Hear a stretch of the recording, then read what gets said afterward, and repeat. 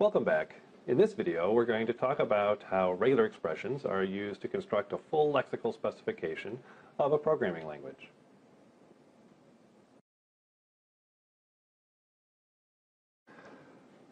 Before we get started, I want to quickly summarize uh, notation for regular expressions.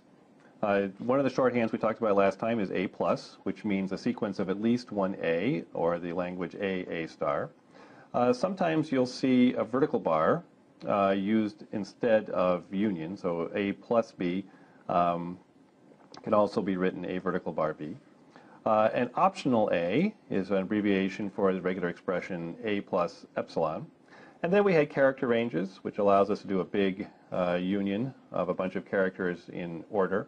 And then one more that's, um, uh, that's used, uh, that, that's actually fairly important, uh, but we didn't discuss last time, is the complement of a character range. So this expression here means uh, any character except the characters A through Z.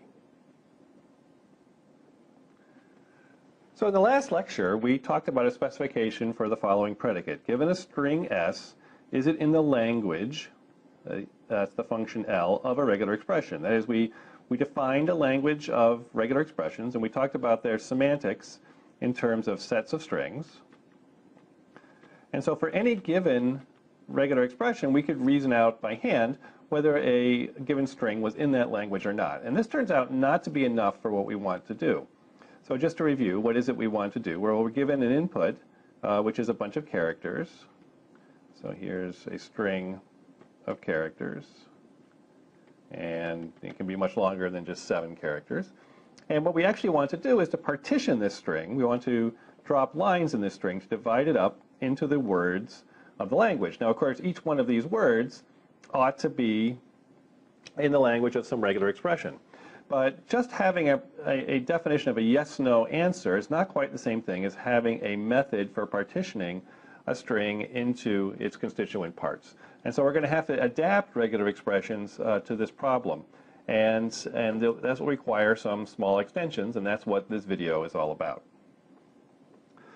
So let's talk about how to do this. The first thing we're going to do uh, when we want to de design the lexical specification of a language is we have to write a regular expression uh, for the lexemes of each of the token classes. And we, we talked about how to do this last time. So for the numbers, we might use digit plus as our, as our regular expression, and we might have a category of keywords, which is just a list of all the keywords in the language. Uh, we will have some category perhaps of identifiers. Uh, there's the definition we talked about last time, sequences of letters or digits that begin with, one, with, with a letter. And then we'll have you know, a bunch of, uh, bunch of punctuation, things like open parens, closed parens, etc. So we write down a whole set of regular expressions, one for each uh, syntactic category in the language. And that's the starting point for our lexical specification. Now, as a second step, what we're going to do is we're going to construct a gigantic regular expression which just matches all the lexemes for all the tokens. And this is just the union of all the regular expressions uh, that we wrote down on the previous slide. So we just take the union of all those regular expressions, and that forms the lexical specification of the language. And we'll just write this out. We don't really care what these regular expressions are, but they're just some um, set R1, R2, and so on, and the whole thing we're going to call R.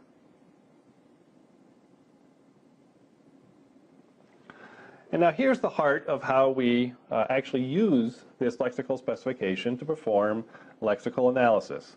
So let's consider an input. The input's a string x1 up to xn. And now for every prefix of that input, okay, we're going to check whether it's in the language of the regular expression. So we're going to look at some prefix starting with the first character, and we're going to ask ourselves, is it in the uh, language of that big regular expression? And if it is, if it is in the language, well, then we know in particular that that prefix is in uh, the language of one of the constituent regular expressions. Because remember that R is equal to the sum of all the different token classes of our language. Okay, so we know that this prefix x1 through xi is in the language of some rj. Okay, and so that we know that that's a word uh, in our language. It's one of uh, it's in one of the token classes that we're interested in. And so what we do is we simply delete uh, that prefix from the input, and then we go back to three, and we repeat. And in this way, we keep biting off uh, prefixes of the input, and we'll do this until the string is empty, and then we have lexically analyzed the entire program. Now, this algorithm has a couple of ambiguities. There are a couple of things that are underspecified, and those are actually interesting. And so let's take a moment and talk about those. Uh, the first question is how much input is actually used? Uh, so let's consider the following situation. Let's say that uh, we have uh, that x1 through xi is in the language of our lexical specification. And let's say there's a different prefix uh, that's also in the language of our lexical specification. And of course here i is, is not equal to j. Now what does that look like? Well, it would look like the following kind of situation. We would have our input string, and we have two different prefixes of the input that are both valid token classes. And the question is, which one of these do we want? And you know, just to be, be concrete here, to give a concrete example, let's consider what happens when uh, a double equals is uh, at the is at the beginning of the input. So after we've chopped off a bunch of other input, you know, perhaps we're, we have this substring or this prefix of the input uh, that we're looking at, and the question is, you know, should this be regarded as a single equals, uh, which would be an assignment operator in most languages, or would it be regarded as a double equals, which in some languages is a comparison operator? And, and this is an example we've looked at before and discussed, and there's actually a well-defined answer to this question, and it is that we should always take the longer one, and this has a name. It's called the maximal munch. So the rule is that when faced with a choice of uh, two different prefixes of the input, uh, either of which would be a valid token, we should always choose the longer one. And the reason for this is that's just the way humans uh, themselves uh, read things. Uh, so when we see a double equals, we don't see two different equal operators, we see a double equals. And if I look at, uh, you know, at this sentence that I wrote up here, you know, when we look at H-O-W, we don't see um, three letters. We, we gather that all together in one long uh, token. We go as far as we can until we see a separator. And so because this is the way humans work, uh, we make the tools work the same way. And this uh, normally, or almost always, does the right thing. A second question is which token should be used if more than one token matches? So what do I mean by that? Well, again, we have our prefix of the input, and it's in the language of our lexical specification. And just remember that the lexical specification itself, again, is made up as the union of a bunch of uh, regular expressions for token classes. Now, since, it, since this prefix uh, is in the language of the lexical, um, lexical specification, that means that, it, again, it must be in the language of some particular uh, token class, RJ. But nothing says that it isn't also in the language of a completely different token class, uh, meaning that this same string could be interpreted as, uh, as one of two different tokens. And the question is, if this happens, which one should we pick? So for example, just to make this concrete, uh, recall that we could have a lexical specification for uh, keywords, which would be things like if and else and, and so on, and also for identifiers. And an identifier was a letter followed by a letter or a digit uh, repeated. Okay? And if you, if you look at these two specifications, you'll see that the, the string if, if, is both of them. So if is in the language of keywords, and it's also in the language of the identifiers. And so should we treat if as a keyword or an identifier? Now, the normal rule uh, in most languages is that if it's a keyword, uh, then it's always a keyword, and the identifiers actually don't include the keywords. Um, and but but actually, it's a real pain to write out the identifiers in such a way that you explicitly exclude the keywords. This is a much more natural definition that I've written here for the identifiers. And so the way this gets resolved is by a priority ordering. And typically, uh, the rule is to choose the one listed first. Okay? So when there is a choice, when there is more than one token class uh, to which a string might belong, uh, the one that is listed first is given higher priority. So in our file uh, defining our lexical specification, we would put the keywords uh, before the identifiers, just as we have done here.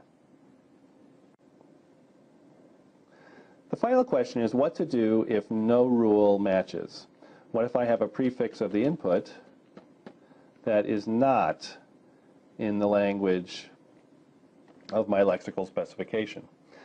Uh, now, this can actually arise. Certainly, there are lots and lots of strings that are not going to be in the language of the lexical uh, specification of most languages. And the question is how to handle that situation. So uh, it's very important for compilers to do good error handling. They can't simply crash. Uh, you need to be able to give the user, uh, the programmer, feedback about where the error is and what kind of error it is. So we do need to handle this gracefully. And the, and the best solution for lexical analysis is to not do this. So don't let this ever happen. Okay, so what we want to do instead is to write a category of error strings. So all the strings not in the lexical specification of the language. So we write out a regular expression. Again, this is another regular expression here. Uh, for all the possible error strings, all the possible erroneous strings that could occur uh, as you know invalid uh, lexical input, and then uh, we put it last. Put it last in priority so that it will match after everything else matches. And, and the reason for putting it last is that this actually allows us to be a little bit sloppy in, in how we define the error strings. It can actually overlap uh, with earlier regular expressions. We can include things in the error strings that are in fact not errors. But if we put it last in priority, then it will only match if no earlier regular expression matched. And so in fact, it will only catch the error strings. And then the action that we'll take when we match the error string will be to print an error message and give the nice uh, feedback like where it is in the file and such. To wrap up this video, uh, regular expressions are a very nice and concise notation for string patterns, but to use them in lexical analysis requires a couple of small extensions. So in particular, there's a couple of ambiguities we have to resolve. Uh, we want our matches uh, to be uh, as long as possible. So we take as much input at a time as we can. And we also want to choose the highest priority match. So the regular expressions are given a priority. The different token classes have priorities. And when there's a tie, uh, when the same uh, prefix of the input could match more than one, uh, we pick the one that has the highest priority. And typically, this is done just by listing them in order in a file, and the ones listed first have higher priority over the ones listed later. I just want to warn you that when you go to write lexical specifications, when you go to actually implement uh, Lexer for a language, the interaction of these two rules that we take longest possible matches and we break ties in favor of the highest priority rules, uh, that these lead to some tricky situations, and it's not always uh, obvious uh, that you're getting exactly what you want. You have to think carefully about the ordering of the rules and, and exactly how you write the rules so that you get the behavior that you desire. And finally, uh, to handle errors, uh, we typically write out a catch-all regular expression that soaks up all the er possible erroneous strings and give it the lowest priority so that it only triggers if uh, no valid uh, token class matches uh, some piece of the input. And finally, we haven't discussed these yet, but there are very good algorithms known uh, for, for implementing all of this.